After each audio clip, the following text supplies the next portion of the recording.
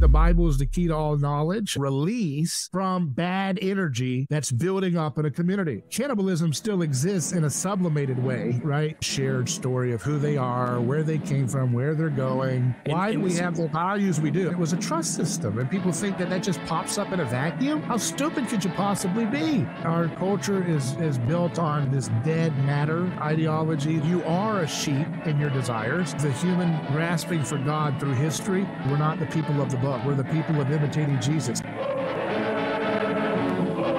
Um, Illegitimate Scholar Podcast, episode 67 or so.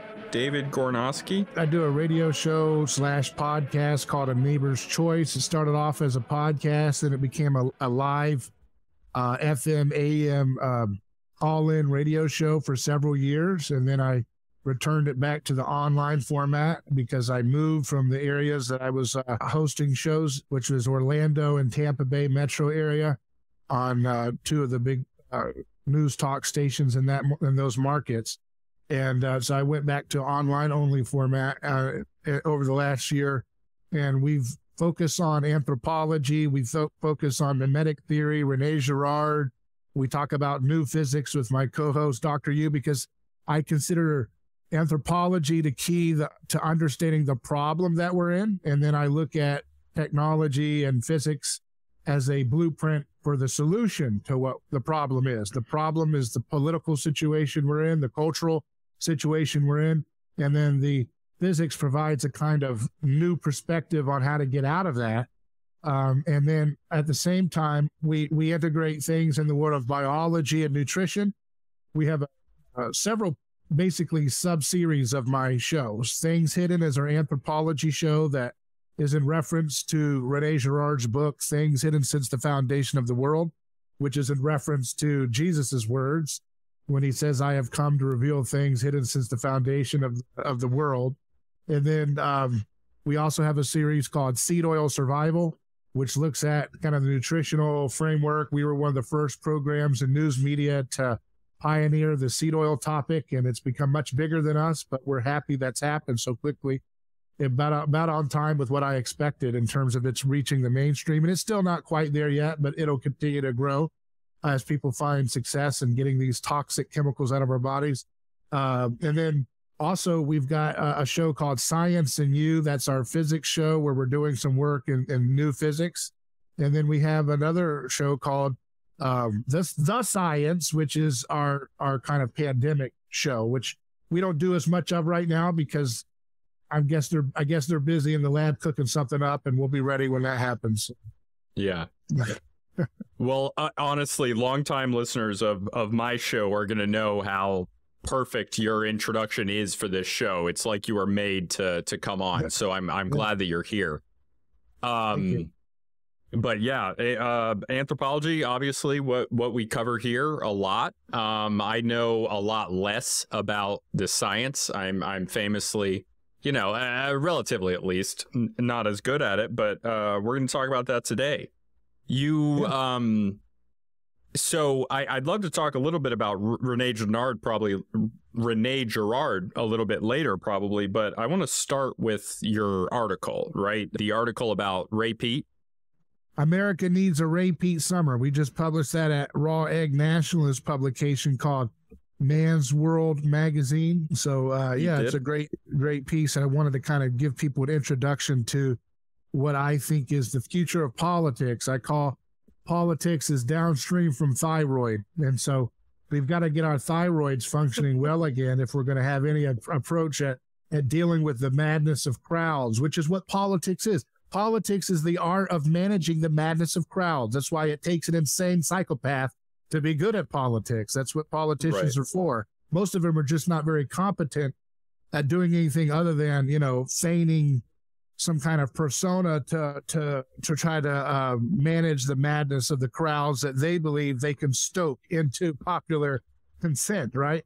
And that's the, yeah, that's the whole premise of politics. That's what that's what the gospel talks about politics as. And there's two two references in there. The the downstream of of culture, I think, is the normal quote, but I like what you're doing with it there. And then also the um the madness of crowds, which is uh, uh Douglas Murray, right? Uh, well, is that Douglas who? Uh, oh, is that not Douglas Murray, The Madness of Crowds? I think he, he wrote a, book called that, but I, I, think he's getting that from an idiom probably much older than him. I'm not sure. Oh, yeah, yeah, yeah. I'm sure. I'm yeah. sure he is getting it from somewhere. Yeah, I'm not. A, but, I, yeah. I don't know too much about Douglas Murray in particular, but I think about Soren Kierkegaard's quote, which is the the crowd is a lie, right? And that kind of lets you know where I'm coming from, right? Is that you know, uh, you know, there's a certain kind of possession that takes place.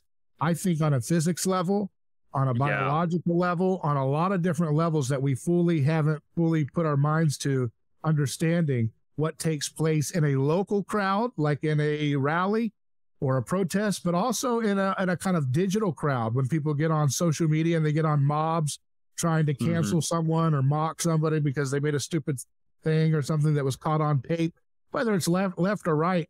There's a kind of madness of crowds, especially you can slink into anonymity and uh, mm-hmm. the gospel is all about freeing you from the madness of crowds and allowing you to recover your true personhood, which is where you can actually be kind of co-creative and participating in God's design for you on this life. And it's an interesting thing to think about. Uh, you know, I think the Bible is the key to all knowledge. I think it's the key to understanding how to call BS on a lot of nonsense that's considered to be untouchable in the world of science and culture.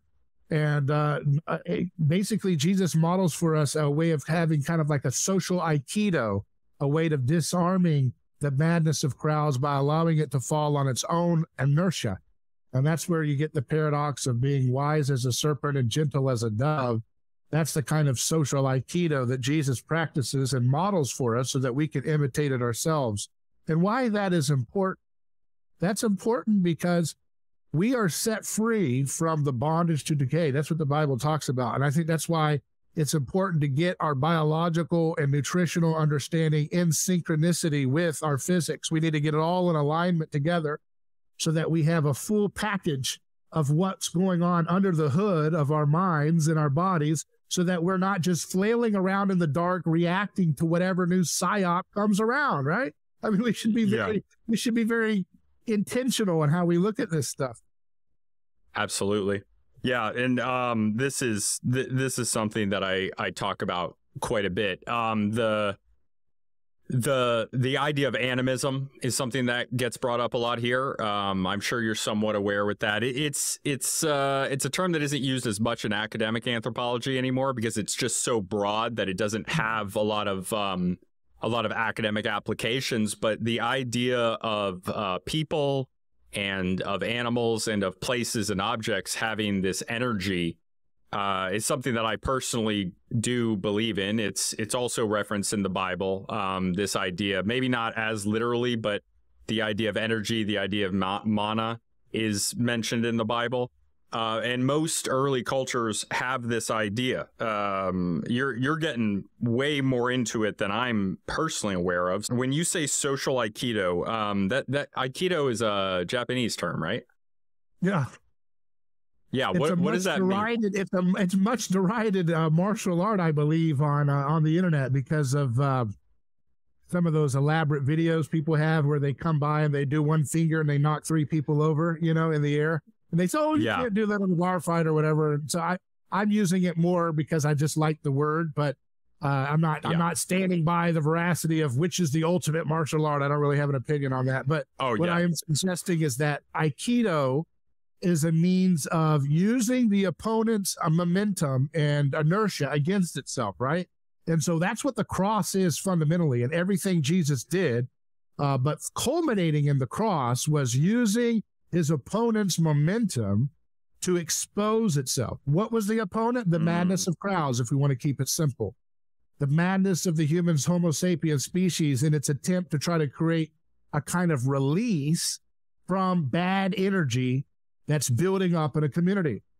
Okay. You can think of bad behavior like electrical charge energy that's starting to ping pong off of each other and it has to discharge onto something, right? It's like it's like electrical energy has to have a, a, a ground, right? We understand this when we talk about electricity with lightning bolts and other things like that, and electrical engineering can tell us a lot about it. We should do that. We should have an electrical engineer to help us map this out on his wavelength. But, you know, basically, we have that same process going on with electromagnetic uh, energy within human beings. And like you said, spaces, I think everything has a magnetic frequency. And your thought has a magnetic frequency, right? It has a vibration. Now, this is all very popular on TikTok and all the, you know, this is so there's there's a dumb way of looking at this that which gets applied, you know, in a kind of haphazard woo-woo way where we talk about, yeah. you know, magnetism and I, my thoughts. I can collect a million dollars if I think about it today, it'll come in the mail. Some of that gets a little bit woo-woo, right? But what I'm talking about is like the actual physics behind some of these intuitions that people popularly hold, right? And and I right. think that the scapegoat mechanism that you see represented in the cross, where a community comes together, this guy is upsetting the apple cart of stability. In some sense, he's upsetting the homeostasis of the organism of the collective community around it. He's trying to help them grow out of their zero sum mindset right? That's got them locked in corruption, locked in decay, disorder, disease, and tyranny. Ultimately, they're enslaved to another a group at the time he shows up in history. And what he does is he allows them to discharge that energy onto him instead of each other. And then he, instead of resisting it, he allows it to collapse on its own weight. So the so it's like this you have to look at what Peter says. Peter is his right hand man. Peter's kind of like his second in command in the scripture. He's the guy that's kind of verbalizing what a lot of the other guys are thinking in his apostles. And he says, when Jesus says he's going to go to the cross, he says, Oh, come on. Don't tell me you're going to go die on the cross. We got a great thing going here. We need to turn this into a political movement. Uh, we're going to get bumper stickers. We're going to storm the castle. We're going to get rid of all the corrupt Herod groups. We're going to get rid of the Roman occupiers. You've got a movement here, Jesus. You've got thousands of people at your beck and call. People want you to be the Messiah. Let's turn this into a political rule. And he says, Get behind me, Satan. This is what Jesus responds Get behind me, the accuser. What is the accuser? The accuser is not just what we conceive of in our kind of 2,000 years later as like a red horned beast that we imagine is sitting on our on our shoulder, the accuser is the madness of crowds, the violence of the mob. And what he's saying is it's the way in which society has found a, an ability to uh, create order out of chaos using a controlled act of violence. And he's, he's, he's appealing to something that goes back to the very origins of our species. Now, let me, let me give you an example. The ritual that he uses to inaugurate his new world order, his new world movement that will cut against the way of scapegoating is communion. He says, Eat my body, drink my blood, do this in remembrance of me, right? And what's interesting about that is he's calling, as you would know as an anthropologist, he's calling back to mind something that people in his immediate audience and people before and after don't want to deal with, which is that the origins of our of our sense of the sacred oftentimes are tied back to ritual cannibalism, right? So he's saying he's he's called he's he's satirizing, he's opening up the veil of humanity's sense of the sacred in that statement. It's very ironic. It's rich with irony, and he's saying in order to defeat your zero sum minds that has you locked in eternal cyclical views of of of, wor- of the world which are tied to the seasons eternally, tied to repeating sacrifice in order to stave off di- bad energy and discharging it onto a common victim like you have. You have to imitate me and eat me. In John 6, that when he says eat me, it pisses everybody off. They're confused. They don't understand what he's talking about. The word he's using there, uh, a theologian named Michael Hardin points out, it's like basically the word for gnawing on the bone of, of the of the marrow of meat. I mean, he's talking about the real gritty, visceral description of what you would say devouring in a cannibalistic way would look like. And he's doing yeah. that in order to show you how to break from the matrix of religion. So to, to be an atheist, to be a true atheist, you have to be a Christian. You have to exit the eternal return of religion and find the future. It's the most amazing thing in the world, really. Uh, wow, I've never actually, th- I've never thought about it that way. That that's that's absolutely incredible. But so uh, get behind me, Satan. And it has this added benefit. And and this is kind of what what you were already talking about of, you know, acting in a way that is uh, that, that is relatable to people who are practicing this idea at the time because uh, ritual cannibalism is something I bring up all the time. People misunderstand cannibalism very often. They they misunderstand cannibalism as this thing that you know they have this idea of like there's the the law of the sea where people are eating each other in certain cases where sailors are marooned or something. They have the law of the sea. That's a separate thing. That's for survival. That that's not ritualistic cannibalism, which ritualistic cannibalism as an idea of eating another person for their power, either a defeated enemy or yeah. somebody who dies in their own society or who yeah. is sacrificed, is is something that happens through ritual in order to consume their spiritual power.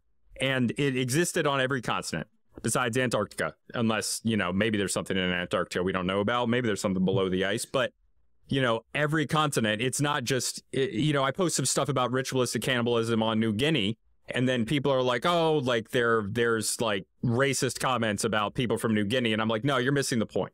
Like that, that's not what it is. This is something that existed in all societies um, in the past. People always want to quarantine that into some other race or some other group because they don't want to admit how close to home it is to their own, you know, human heart. Really, is that cannibalism still exists in a sublimated way, right? When the form of Absolutely. hyper competition, right? In the idea of like trying to consume. You know, when John Lennon was shot, the guy was a super fan. He wanted, he said, I wanted to be John Lennon. And I thought if I could kill him, I was like becoming him, right? So that's a, like wow. a vestige psychologically of the same kind of, not in all cases, but much, a, a very similar yeah. pattern as you would see in anthropology uh, of ritual cannibalism, trying to become that which you devour, right? Taking the life right. of.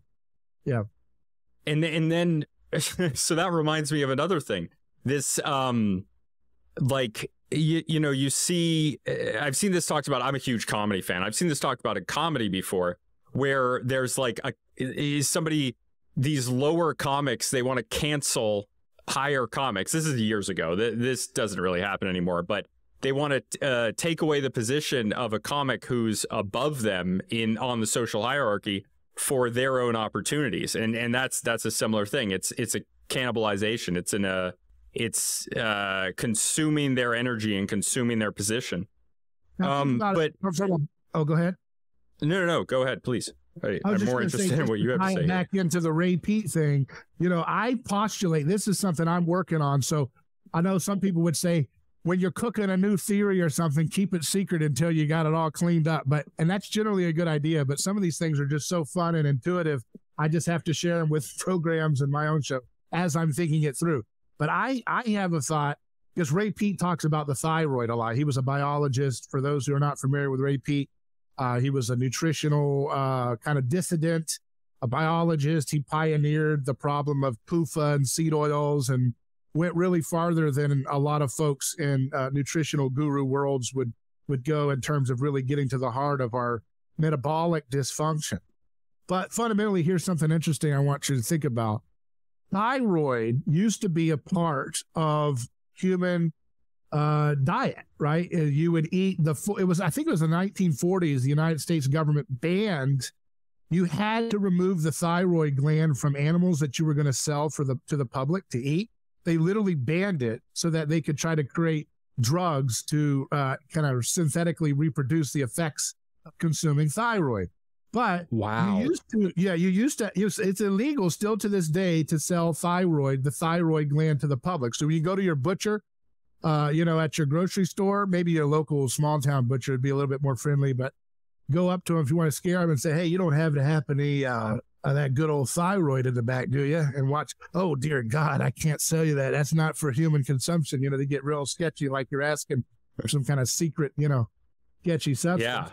Yeah. Uh, but what's going on there is, uh, well, there's maybe a lot of reasons for that. But one thing I want to focus on is the simple fact that we used to we used to get a lot of thyroid supplement in our diets because when you would cook the whole chicken, you would cook the organs too, which included the thyroid. They didn't have it removed. And if it is same thing for other fish head soup has a lot of thyroid in it. And all these traditional ways of consuming the animal would allow, especially if you're cooking in a pot, would allow would allow the release of a lot of animating, energetically uh, exciting thyroid uh, molecules like T3, which is the active form of thyroid. And when you're eating that, a lot of times people notice when they supplement thyroid as a medicine to this day, that they feel they're in more in touch with their heart. They feel more euphoria, right? And they and the doctors will tell you stop taking it if you feel euphoria. And Ray Peat often says, well, that's how you know the medical establishment is not pro-human because they call it a disease or a problem if you feel euphoric. It's like there's something wrong with you, you know, as opposed to right. like you should feel joy and you you should want to feel that as a natural state.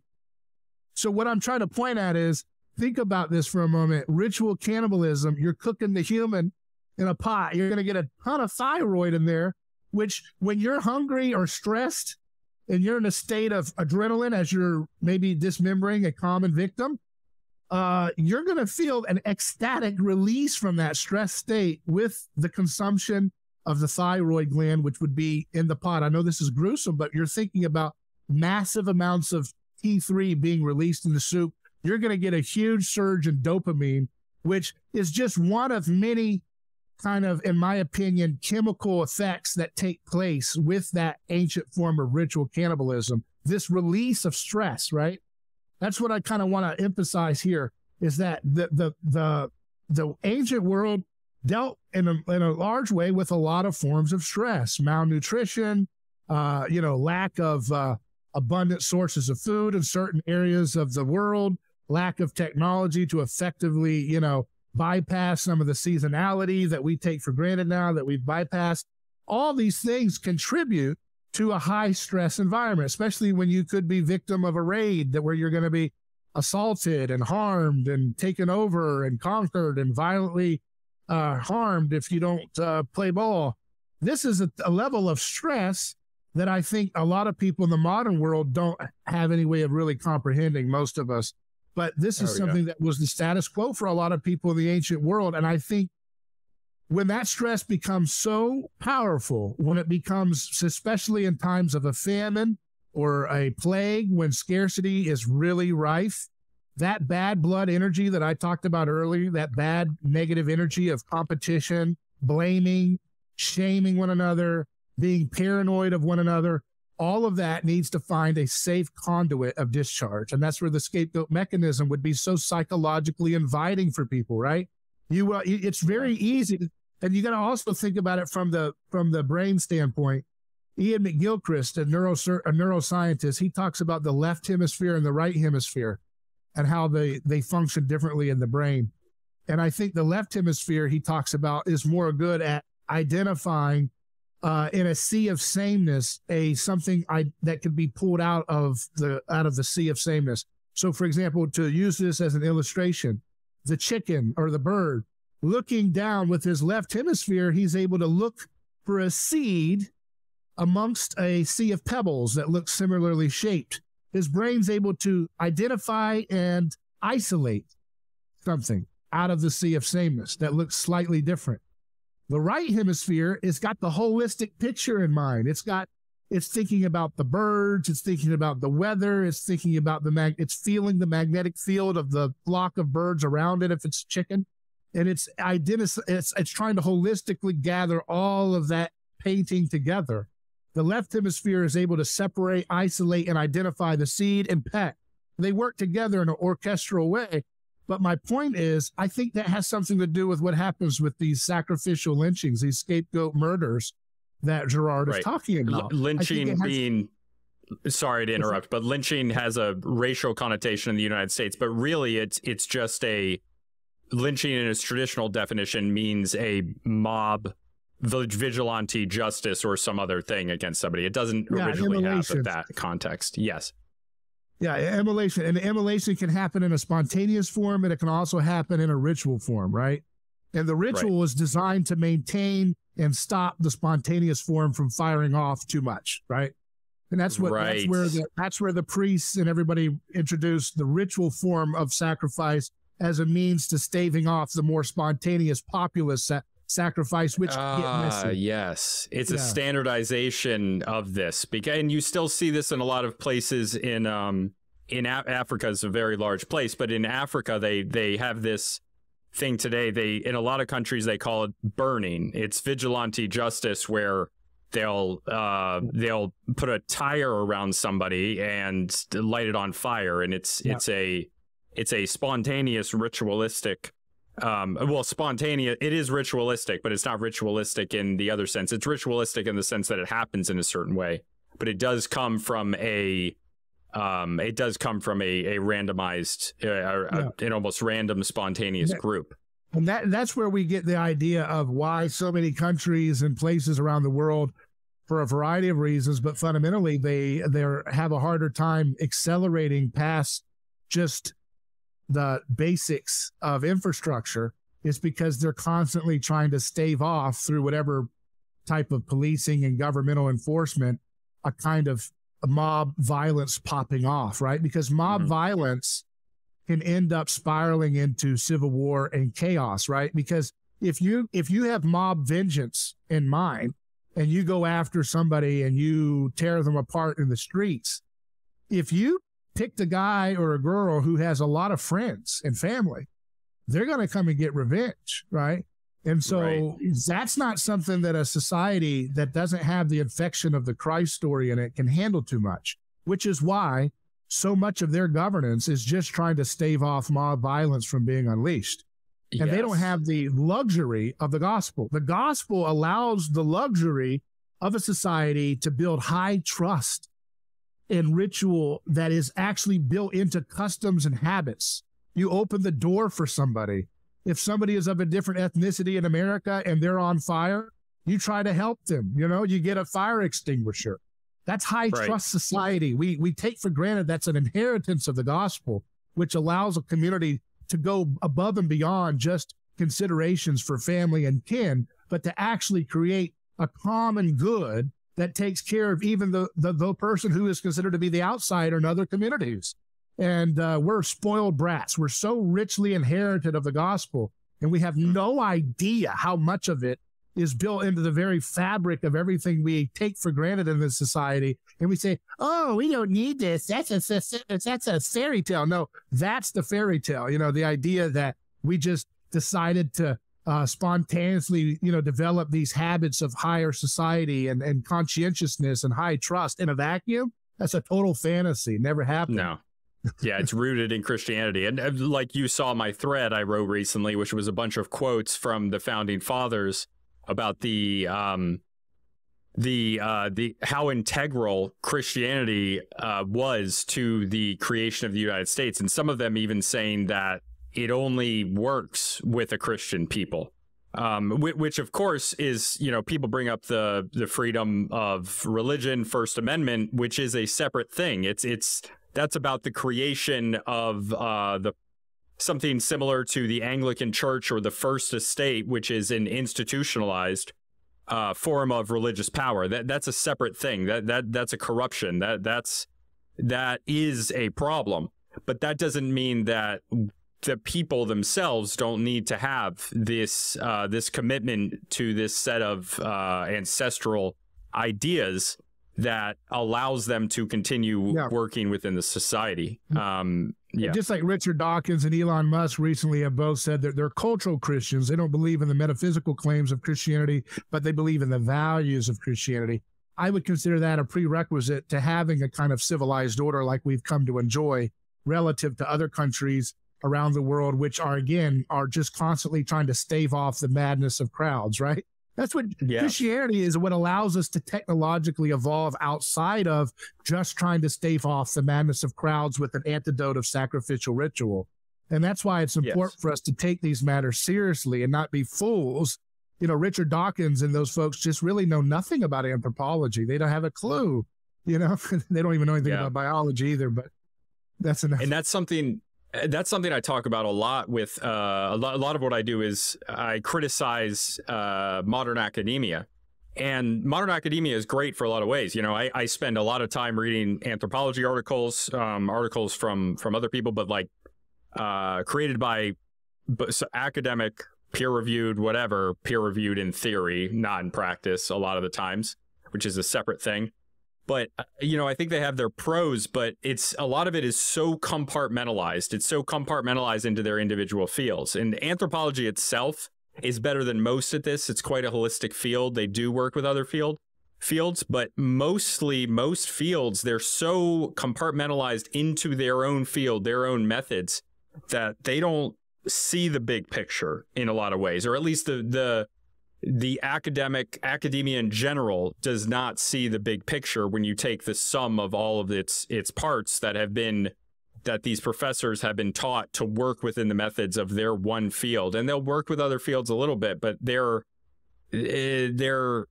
it's it's like a cage towards their thinking. When in reality religion and all of the all of the aspects of humanity are holistic. They they work with each other. The the the politics um politics society religion they they all work together at least they they did in the past um an example yeah, of this all, yeah they're all synonymous really religion and society and culture are synonymous i mean religion means uh, in the Latin to bind together, right? So, what binds a nation together is the shared story of who they are, where they came from, where they're going, and what do they value? You know, why are they here? The why questions. And media needs to stop doing a lot of time on what and start asking the why questions, you know, and that includes everybody. We all need to think about the why questions because those are the things that really matter. The what is almost almost superfluous sometimes, you know. You spend people spend so many time so much time thinking about the what and that's fine but we should always anchor it with the why. Why why is this the way it is? Yeah. You know? Why and, and do we have the values we do? I mean we have a, there's a there's a place over in tampa i don't know if it's still there but i used to get my uh i used to get milk fresh from the farm there you know and i remember that guy would just have a, a, a bucket open for you to, you know, retrieve your milk, raw milk, and put the money in the bucket, you know, and it was out there for anybody to take. And it was a trust system. And people think that that just pops up in a vacuum. How stupid could you possibly be? You think that just pops up from the scientific method that he scientifically inherited, like some kind of like brotherhood of man and some human humanism sense or something? And that's where he gets this kind of cultural expectation that this can even work.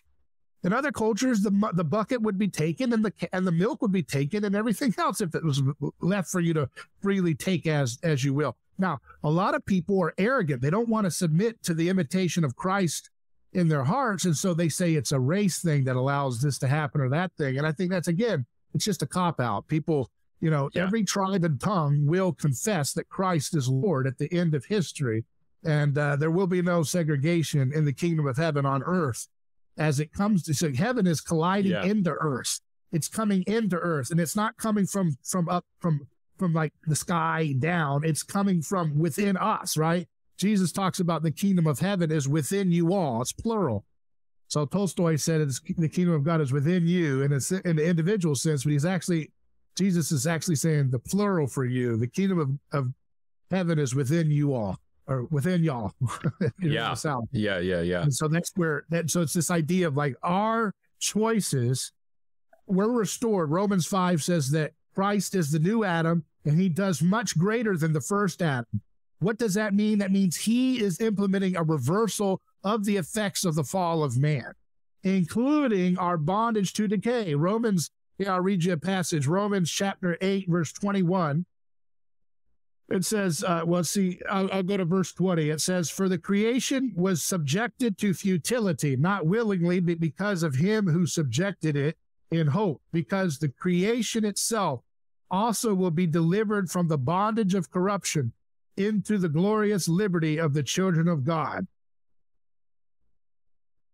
For the earnest expectation of the creation eagerly waits for the revealing of the sons of God. So, the creation the Bible says creation, like you were talking about, animism or whatever, right?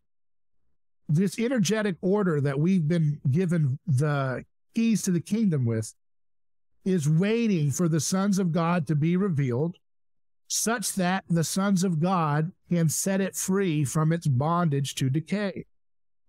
Now, the way to look at that is one, there's a lot of layers to it, but very simply, the bondage to decay is talking about death anxiety, that human beings are the only people who are aware of our, uh, are the only species that we seem to know our death is, is coming in the sense of like we can conceptualize it as you know maybe the animal feels death coming upon them and then prepares for it by getting into a, a quiet space in the cave you know? We get that right? But we're the only species we know of that seems to become aware of the finitude of our existence and then we act out accordingly from that anxiety. That's what the bible's talking about when it talks about the bondage to decay. It's the entire way in which we operate our minds our bodies everything we do is locked under this death anxiety. Well, the reason why Christ resurrects, and he doesn't do it on the public square, by the way, because he that would be too easy. If we knew that all we had to, if we, if he had, if he had waited till CNN and Fox News could have live streamed his resurrection, we wouldn't have ever emulated his way of setting us free from the bondage to decay. Does that make sense? He had to make the resurrection a private affair such that it had to be passed down by those who followed and imitated his way through the church, through history, right? If he made it too easy, that, in other words, human beings have this tendency to be like, well, if he's Hercules, then I'm going to follow him because he's the tough guy. He can break death. And then you're imitating Jesus for the wrong ways, which means you're not imitating Jesus. Does that make mm. sense? He wants you to follow, he wants to, he wants you to love your neighbor and lay down your life for others not just check a box that says, well, tell me who's God. Is it is it who Zoroaster said? Or is it who is it Hercules? Is it Marduk? Who is God? Oh, it's Jesus. Okay, well, I'll say my prayers and eat my vitamins every night and think about that guy as the big boss man in the sky. Well, that's not what Christianity's about, right? That's what a lot of people think Christianity's about. It's just another religion. Who this one says it's this God, this one says it's that God, but it turns out it's a guy named Jesus. And that's why, you know, say your prayers and submit uncle, you know, like, uh, like, uh, you know, sub, it's like basically Islam, what people have created Christianity to be in their minds. It's just all about, you know, you know, there's a big guy and who's his name? Is it Uncle Bill? No. Is it Uncle who? Who is it? Who's the big tough guy? Tell me who the big boss man is and I'll pay my tithe to him and he'd take care of me every time I get sick. You know, it's like, what is this? This is a mafia don? Well, that's how Christianity on, oftentimes gets distilled into, unfortunately. And that's not true. Like Jesus wants you to become like him, which is why he didn't make his resurrection on blast in front of like the Roman pantheon, because then it would be too easy. You'd be like, okay, anybody who can come out of that tomb, that's the big dude. I'm going to follow him. Yeah, okay. He waited only to the people who actually had to get broken to the point where they betrayed him when he was being murdered and, and, and tortured. Peter, right? All those people, they sold him out. He revealed himself to them. See? He waited till they were broken, that they had faced the madness of the crowd, they had submitted to it, totally humiliated, and then he showed up to them.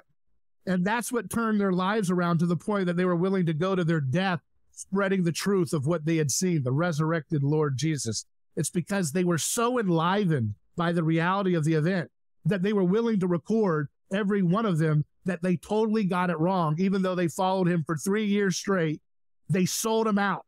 Even Peter, who was supposed to be the toughest of them all, sold him out when it was when it was push come to shove, you know? Yeah. Yeah. Wow. Okay. Different I I love what you're saying. You you lost me a little bit. I mean, I I I think I'm getting what you're saying. I'm, I'm trying to go fast because we have limited time. I'm sorry. I should slow. No, no, no, no, no, no. You, do you you, or I I shouldn't say you lost me. I think I get what you're saying, but I lost my ability to respond by concentrating on what you're saying. That that's what I meant. Um, yeah, yeah. No, Sometimes that happens. By the way, you always know a good leader by how good of a listener you are. And I watch you doing the way you're taking notes and stuff. That's a true listener. That's how leadership looks, folks. Just want to point that out. The mastery, yeah. I'm telling you, the mastery of good leadership is being able to be a keen listener. That and that's and you're demonstrating that, by the way, by fully engaging in the and most people are just always waiting to when someone's talking, they're just waiting to say what they wanted to say. They're not thinking about what the other guy's talking about. Yeah, that that that's a problem that I've definitely recognized in myself in the past. But I'm also going to turn that around on you because I would say that good leadership as well is like, you know, I'm here and I'm listening to you, and then you turn that around and you tell me I'm the good leader. No, I think you're the better leader. I, I think that's well, that's pretty clear here. There's, there's all leaders in the kingdom of heaven. You can absolutely no, yeah. I I would say there's different types of leadership, and um, yeah, absolutely. Okay. I, I, just I, I, just appreciate it because it's very few times I've ever been on a show where someone's writing or whatever you're doing. I don't know if you're drawing in the sand or what, but uh, it's a really good way of engaging the person talking, and it's very helpful. Yeah. So, uh, you know, just to talk about that for a moment, what I found is that if I don't take notes, then I I have more of the because I know I need to respond, so I need to be thinking about things I'm going to respond to. And if I don't mm-hmm. take notes, then I'm going to concentrate less on what the person is saying. But if I take notes, That's then I have notes on on what I can ask about. Unfortunately, now I've taken so many notes um, that I I I don't know what I want to ask about, and I don't want to go back too far. Um, but what I can always do is go back. I have plenty of things I want to ask about. So I think we reached the natural conclusion of that conversation. That was an incredible end to that um, the release of death anxiety is incredibly important, and I don't think that's something that gets talked about enough. I really don't. I I think that um, modern society has this uh, way of just pushing aside the spiritual aspect of being a human. Everything is material. Everything is uh, about numbers on a spreadsheet and about you know uh, increasing quarterly profits and all the related things individually that you can have. You know uh, human rights the the things that people concentrate are oh it's it's i i don't know what i'm saying right now. I know what i'm saying but i i, I don't know how to how to actually bring it out. No, you're right. Our culture is is built on this dead matter ideology that there's dumb dead atoms, and um, and that you know basically it's some big other acts upon those atoms and creates magic, right? And so you have if the big other for the Darwinists or neo Darwinists would be like a random mutation you know, it's like this big other that stimulates. It's like a jackpot. It's enough random and enough time and enough randomness can create some kind of magic out of dumb dead atoms called life. Um, yeah. The other it's one stupid is, idea uh, to me, but yeah. Yeah. Another one is the dumb view of well, I just we'll call it dualism. Um, and dualism is you know the separation of mind and body as some kind of like distinct spheres, right? And from there, and Descartes and other folks were good on that, talking about mind body dualism. There's the mind and then there's the body, right? And then you have, uh, and that's where you get this weird distinction between like the natural world and culture. Okay, well, we have our biological self and then we have our cultural self, right? And never the two shall mix, we're told, right? Because God forbid we allow natural ideas to percolate in our sense of culture, then we'll be admitting that our elites are probably ruled are very eugenicists and very you know much you know very scary uh, people neo Malthusians that we don't like. Um, so we don't want to acknowledge that. So we pretend like there's this hard distinction between nature and uh, culture. So again, mind body totally distinct. And I think Christianity totally rejects that. It, it, Christianity is not pantheistic. It's not that there's nothing but matter. Uh, it's not dualistic in the sense that there's mind and body, heaven and earth, totally distinct. It is uh, kind of like panentheism, which is the idea of man, mind and uh, mind and uh, matter intertwined together. So there's a kind of inbreaking yeah. of heaven, heaven and earth, kind of colliding together, right? The unseen so, and the seen, the energetic world and the structural world of material. Absolutely. Right? And and this comes back to what I was talking about before with this uh, compartmentalization of things. I, I think that it doesn't just apply in academia, it applies in all aspects of our culture. Uh, th- this idea of the the compartmentalization, when I talk about it, is usually in academia, and it shows up eh, beginning in like the early modern period. It doesn't show up until you know Protestantism, 1500s, um, I, I think there is a is a tie to Protestantism, but I'm not saying directly and only Protestantism in the 1500s. But the the compartmentalization of of things into these separate parts is massive in how we think about everything. When really, uh, if you look at physics, eh, things are they're they're all reacting and they are they're they're working with each other and all other things. There isn't a compartmentalization of everything, and I I think that that's one of the fundamentally big picture macro biggest issues we have in our society today. Yeah, um, I think um, that I think that the, that that comes from from left hemisphere left brain hemisphere dominance in our society. Iain McGilchrist, who I mentioned earlier, is really good about that. He wrote a book called "The Master and His Emissary," which is about how the right brain of our the right hemisphere of our brain is actually the master of of how we we we typically have thought that the left brain is really the dominant part of our brain and it's what's good for numbers and math and language and logic. And the right brain we're told is this creative uh, wild child and it's kind of like it's kind of like the weirdo section of us and our childlike self and it's actually not true the right brain is actually the dominant brain but our society has is in some sense is in McGilchrist's uh, mind a kind of conspiracy of the left hemisphere overthrowing the right hemisphere's proper place in part of the picture. And here's why it matters for what you're saying. If we have that left brain hemisphere dominance way out of proportion to the right hemisphere, which integrates intuition, which is actually just another word of talking about the sense, uh, I would say a magnetic sense, right, of, of our of our whole picture, the holistic picture, as we would say. When we lose that right hemisphere processing, we're stuck with this left hemisphere approach, which ultimately is obsessed with categorization, just like the chicken looking for the seed amongst the little pebbles that look just like the seed, but it's slightly different. That's what that left hemisphere is always mm. good about.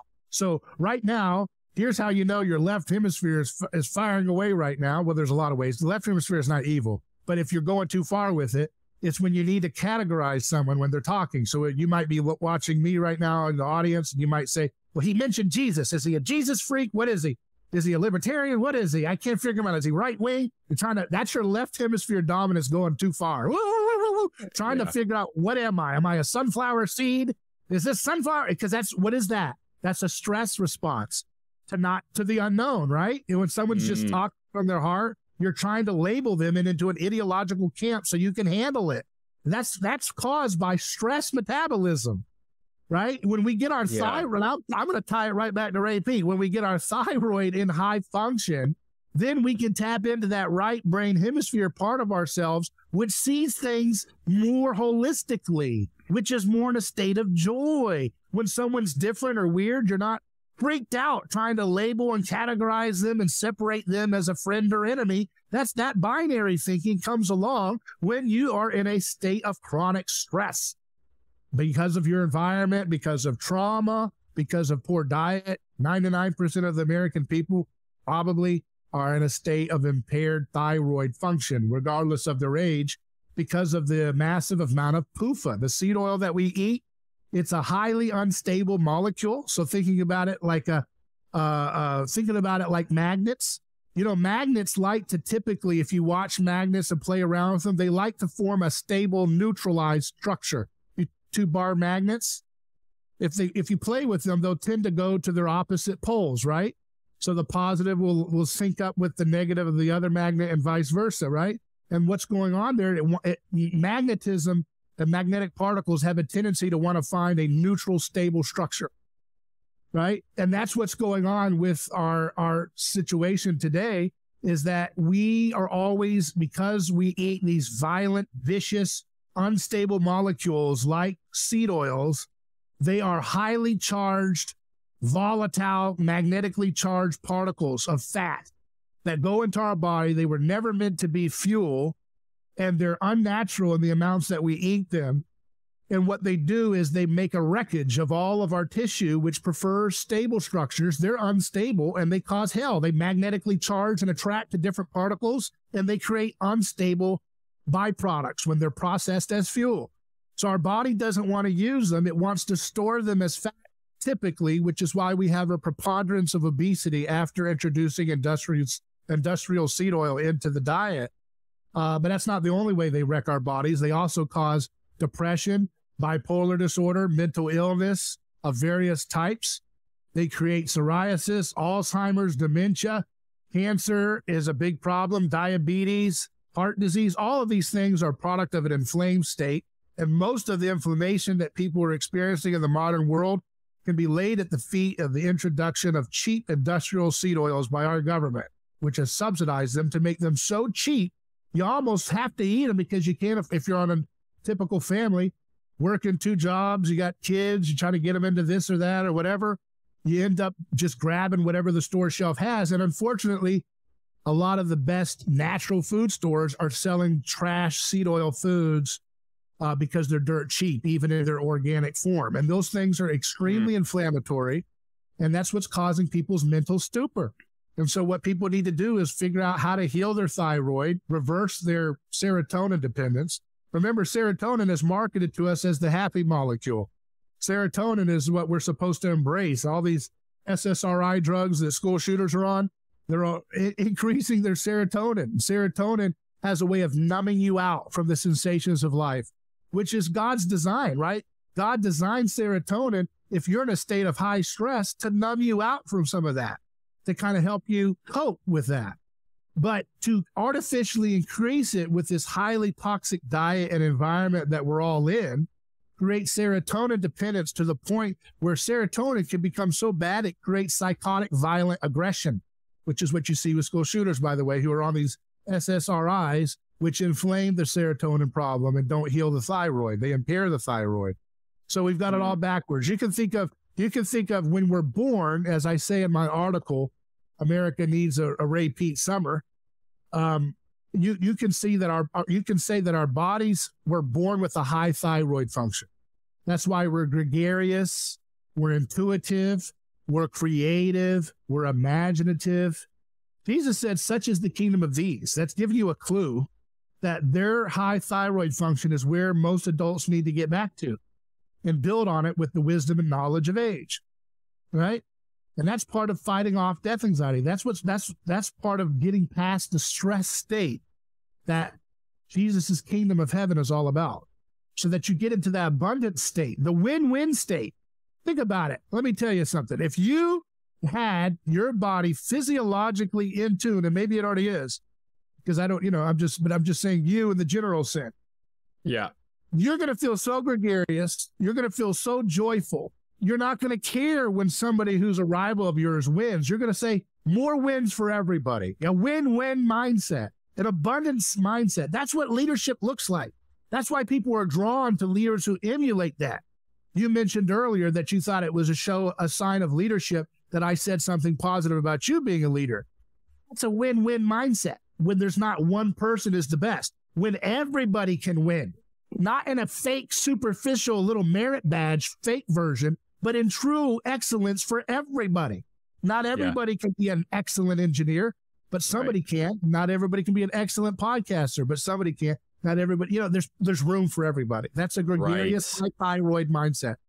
And another thing that I talk about a lot here, and I was just talking about this with uh, Daniela uh, Pasternak uh, for the episode last week. I'm not sure when exactly this episode will be, but um, the there's like a single track towards success in Western culture today. There's like, you know, you have to go to college, you have to uh, get a good job at, at this position.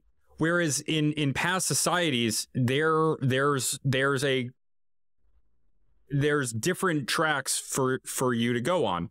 And a lot of our problems I think come from everybody everything needing to be standardized uh, for there being a single track for success. You have to sit down in this classroom. If you're not sitting down in this classroom well enough, if you're not an 8-year-old boy who wants to sit still for 8 hours, then you're there's something wrong with you. You need to be on drugs. That type of thing.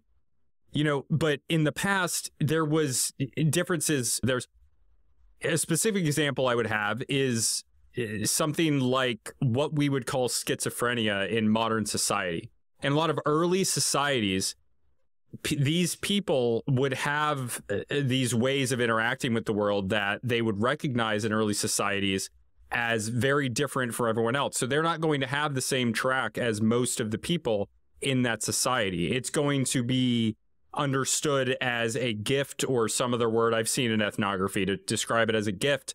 But what they're going to do is they have positions in that society that are made for that person to be able to interact with the world in a way that makes sense with the way that they see the world in their different way.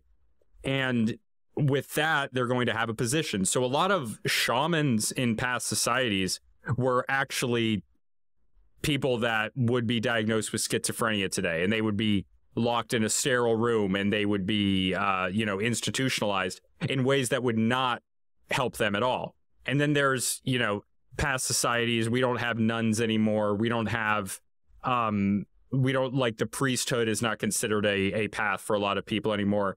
There, it's compartmentalized into a single track for for everybody, men and women, everything. Does that make sense? Yeah, yeah. No, I totally agree. And I think that's just part of the left hemisphere. I, there's different layers to look at it, but I think that's part of the left brain hemisphere dominance of our society. Another way of looking at it is it's part of our stress induced me- metabolic dysfunction in our society. And then another way of looking at it, which is throws a monkey wrench into keeping it too simple, which is that this is part of the Christian inheritance, right? Is that the Christian inheritance opens up in, in early societies, like you mentioned, everybody's kind of tracked for one position, right? Usually whatever their family does, right? Or whatever, you know, they kind of have their position and there's no, there's not a lot of fluidity of jobs, right? Today, we take for granted that we say to a little child, what do you want to do when you grow up? Oh, I want to be a rocket scientist. Okay, go do it. You know, what the heck? That's not at all what the early, early civilizations had, right? Because they didn't want a lot of fluidity in terms of like roles because that's where rivalry can open up. And they didn't have a mechanism for dealing with rivalry like Christ provides. And so they would create a lot of differentiated structures and boundaries with taboos to reinforce don't going past the, not going past your station in life so that you yeah. didn't get out of line and get into competition. That's one of the reasons why like tragedy in the Greek the Greek culture the tragedy was a way of reminding the little peasants to stay in their lane, right? Because they'd watch somebody go really high and then fall down. And it was like, okay, this is what happens when you go too far. You can reach for the stars or, or reach for the moon and fall amongst the stars or whatever the saying is, right? And so this idea of like, this is a tragedy that this person went too far and challenged the God's fates. And at the end of the day, they got their comeuppance and they were expelled or they were defeated or what have you. And that was a way for letting the society know that this is not a fluid structure. Stay in your lane and keep sweeping the stables, or you're not going to be empire. You're not going to be a governor. Right. You're not going to be a rich person. You stay in your lane. That's what your fate was by a point of your of your birth, right? And it also creates because a, a lot of human nature is not about your absolute position. It's it's about your relative position and the way that you think about it. And it, it creates in that society uh, uh, um, the the opposite of chaos. It creates a acceptance of people, which in a very real sense, when people are accepting of their position, like you know, I'm if if you're thinking, oh, I'm going to be a rocket scientist, a doctor, an NBA player, the president, any anybody that I ever knew in my life, and I was not a poor kid. You know, I'm middle class Connecticut, which means upper middle class. You know, so nobody that I ever went to school with was ever going to be president. That's not how it works. Everybody that becomes president, they go to private schools, they go to an Ivy League school, they become president. It, it is a track for those people. It's it's a lie that this is that this is fluid. But when there's this uh, this cultural idea that you can do this, and then you try and you can't, that creates disorder and it creates misery. Whereas,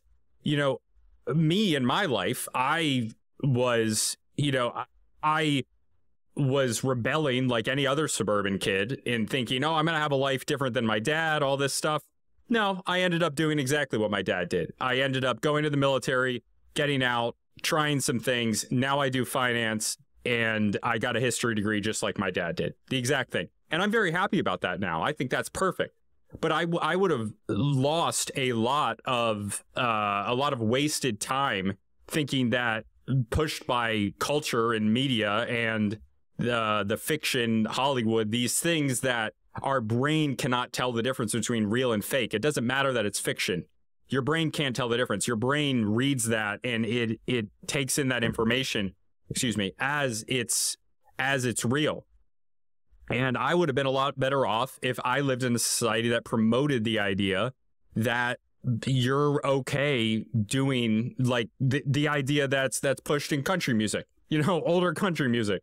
Like um uh little bitty life is okay. That that that's that type of thing. Um yeah, and and Christianity provides for that. But what Christianity does is it does open up a radical radical sense of free agency, right? And that, when again, unanchored from the wisdom and humility of imitating Christ, looks like a bunch of spoiled brats who think they're entitled to be a billionaire on account of whatever, you know, some unachieved, you know, status or success that they think that they're entitled to. And that is where you get the resentments coming in. Well, it's because I'm I'm this race, it's because I'm that gender, it's because I'm this or that. That's what's holding me back. So yeah, it's totally resentment, totally uh, uh, envy, right? But the Bible, you know, when you anchor wisdom to the Bible and particularly Jesus as the role model, then you realize all we like sheep have gone astray, each into our own way. And I always think that's kind of like an irony, right? Because, you know, all we like sheep have gone into our own way. Well, sheep think they're going their own way in their own way, but they're just following the next guy in front of them off of a cliff, perhaps right? Yeah. And that's kind of the wisdom of Jesus is like learning that you are a sheep in your desires. You imitate so much of what you think you want from those around you, good or bad.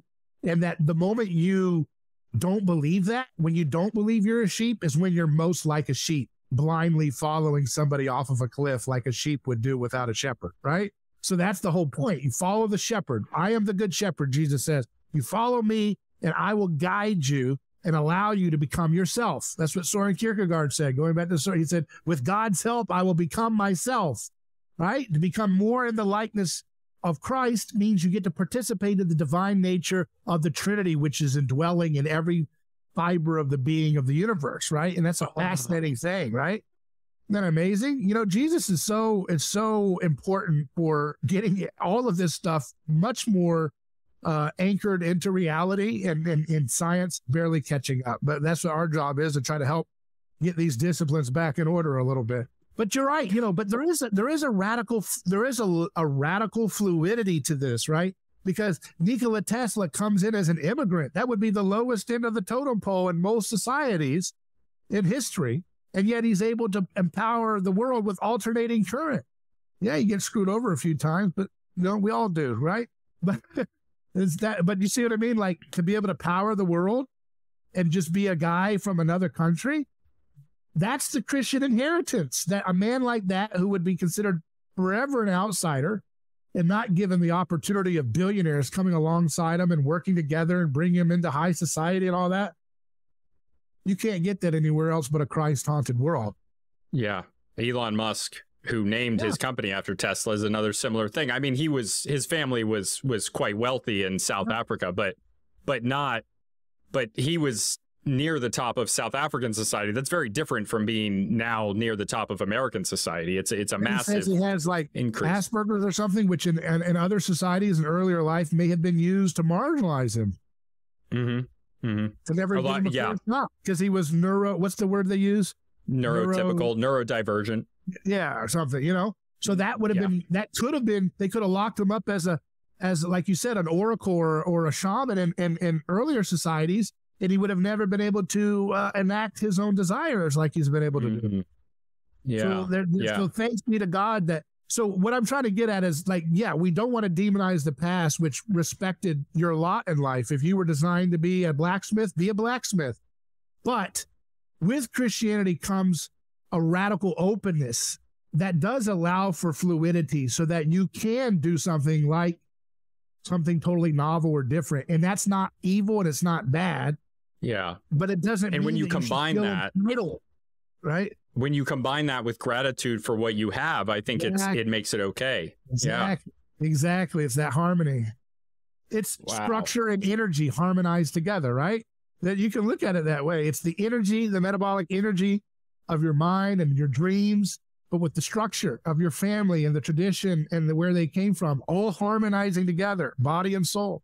It's amazing how it all works. Yeah, it's a it's definitely a beautiful idea, and I think people are absolutely going to love this. Um, okay, so I know I know you have to go at three. Excuse me. Is there anything you want to end on? Is, is there anything specific you want to promote? Was there any lingering question or something that was a little bit on your mind that you didn't get? Mm.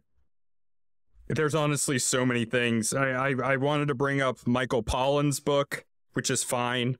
Um, I don't know if you know Michael Pollan, but he's the guy who he wrote a book about the um about the the food industry. That was what got me introduced to this. Um, getting behind me, Satan. I loved that. Um, you know, the the getting behind me, Satan thing is like is is allowing Christianity to spread in a way that adopts the ideas of um, it adopts the ideas of these these other societies in a way that you know reduces this this ritualistic cannibalism. It gets rid of it but it also does it in a way that people recognize. It, it's a way to to have effective proselytization um, yeah jesus in, is not a, a violent sense. revolutionary authoritarian okay? So right. that's like what the old Testament some other religions. preserve. The old testament is there to preserve the human grasping for god through history and showing how humans are failing and learning and growing up to the point of Christ, which is the culmination. Yeah. That's why you can't yeah. just that's why you can't just have a Christless Bible. We are not people of the book. That's Islam, that's other books. We're not the people of the book. We're the people of imitating Jesus.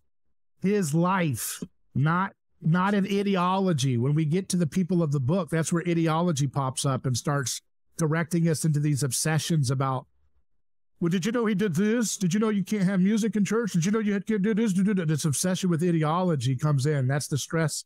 That's the stress mechanism that pollutes our mind and draws us away from what God told us to do. He was. He says we would do greater things than Him. So once He restores us in the new Adam, that means He situates us back in the garden. And the garden is not there to be a prayer closet. It's there to be the launching point of subduing earth, taming the dominion of earth into the point where we reduce its bondage to decay. That means being creative, being like God, being a co creator. That's wow. the whole point. Theosis. Yeah. Theosis, becoming like God. That's the purpose of being alive as a human being. You're to usher it in. And I think in the future, once we understand this, we will think creatively. So here's the homework for everybody get rid of the seed oils, do better to get your sleep, Get your carrot salad in every morning to help your endotoxin. Do these basic things that Ray Peat recommends. Read my article to learn about what some of the basics about what Ray Peat's all about. Get your biological, physiological self in order. Do the best. It's going to take a long time. This is not an easy fix. I'm not giving you a 60 day uh, uh, miracle program or something dumb. This is your life. This it's meant to be art. It's meant to be lived intentionally. And and as you do that, let your creativity flourish.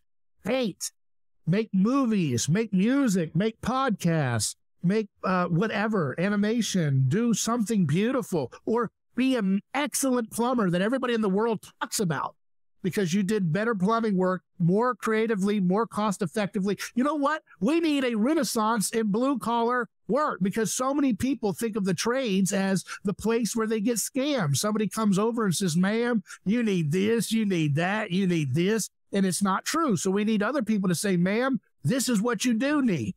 This is what you do actually need. And I can do it in a better way than the people who are trying to scam people. The, the trade should be the place where the most honest Renaissance men are found, and they are there. But we need to start thinking about that better because we need to make things. We need to have anti gravity right. technology. We need to have energy too cheap to meter. We need to have abundant solutions for, for illnesses like the big diseases I mentioned earlier that don't cost hardly anything. We need to understand the role of CO2 in our health. That's another thing I'll leave people to think about. I'm leaving things as like a uh, to be continued things to think about.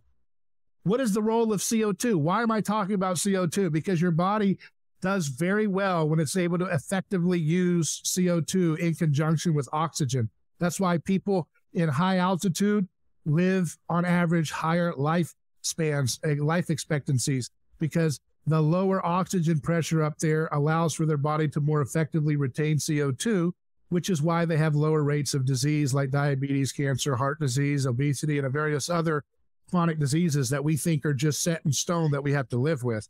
People at higher altitude do not experience those things nearly at the rate we do, even with them eating the same garbage diet of the standard American diet.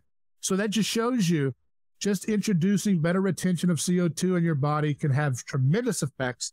Again, hat off to Ray Peat, the late great Ray Peat, for giving us these clues about CO2 and pointing our attention to the science that's been done already in those areas. Wow. Yeah, that was awesome. I know everybody listening is going to love this. This touches on a, a couple of in, uh, common themes on my show, and uh, I'll link to your stuff and your article down below. People can check it out. I'm sure they'll like it, and um, I'll I'll link to the episode I did on your show a few months ago as well. Um, Sounds good. So thank you for having me. I appreciate there. it, and thank you for your time and, and the great questions. Yeah, thank you for coming. That was that was awesome. I got a lot of lot to think about, and I got my notes here, so I will. Okay.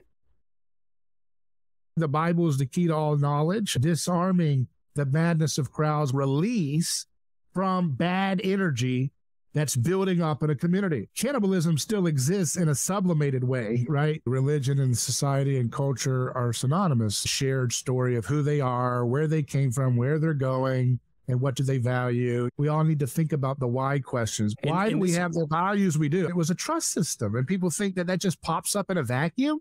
How stupid could you possibly be? Our culture is is built on this dead matter ideology. You are a sheep in your desires. The human grasping for God through history. We're not the people of the book. We're the people of imitating Jesus.